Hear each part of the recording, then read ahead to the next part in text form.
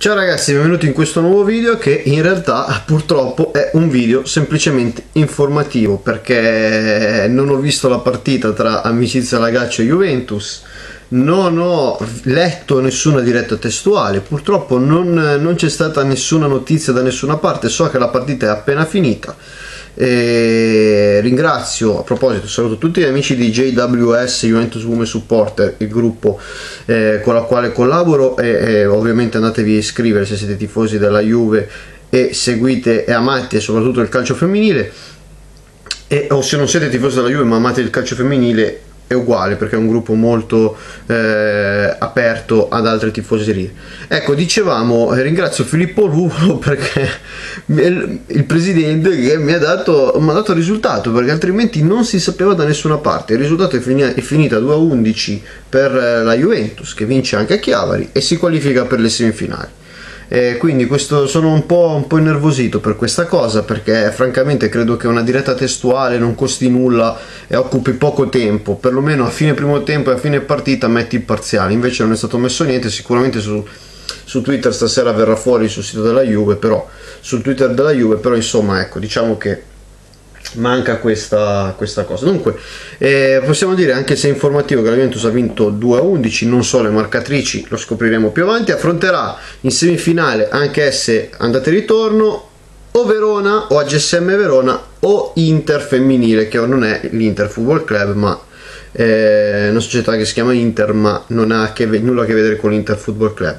E, e dunque adesso possiamo dirlo, possiamo dirlo che la primavera maschile, la primavera femminile, l'under 17, l'under 16 e l'under 15 sono in semifinale, 5 semifinaliste ai campionati italiani nei vari settori giovanili, quindi un successo per lo Juventus Youth Sector e adesso eh,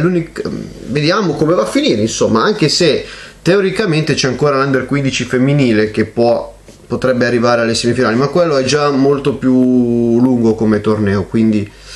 è lontana la cosa. Diciamo che per il settore giovanile in questo momento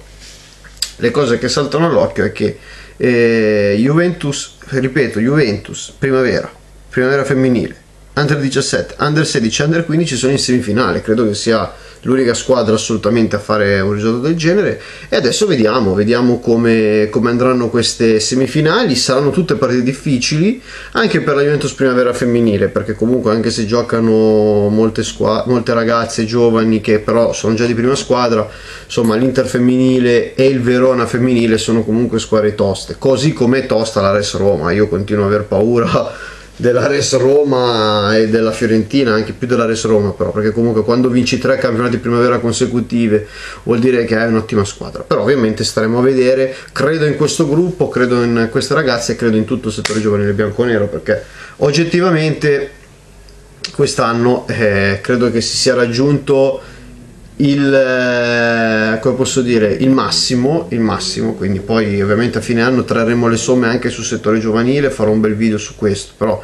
faccio i complimenti alle ragazze di Mister Diana, dunque che arrivano in semifinale, ovviamente semifinali che vi racconterò come sempre